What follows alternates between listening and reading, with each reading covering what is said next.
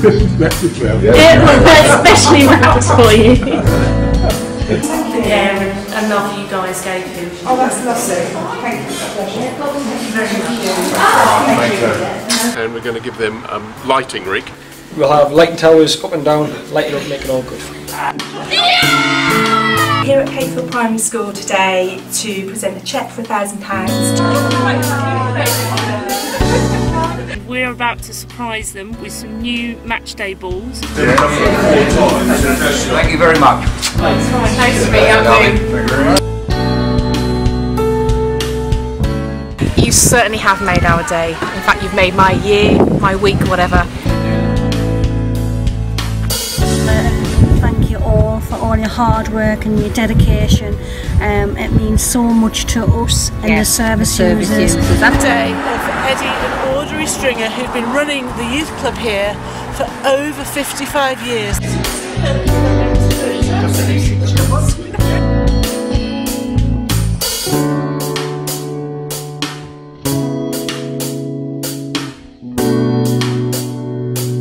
Day by cheering up. And to do that, we've got some beauticians with us. Thanks for making my day. Nice with lots of great treats with chocolates, flowers and afternoon tea. As we wanted to surprise him with a special gift.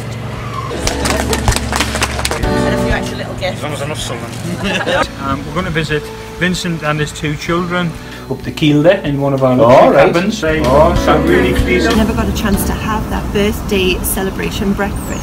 That's what I was thinking as. That's why we've enlisted this lovely lady to give them driving lessons. And they've just been absolutely amazing. I think they deserve something special. To surprise a customer who's been re- very ill recently. Um, so we're here to surprise her with a little visit from Undle. You. Dylan, who's had a lot of work on his spine. You like that? You like?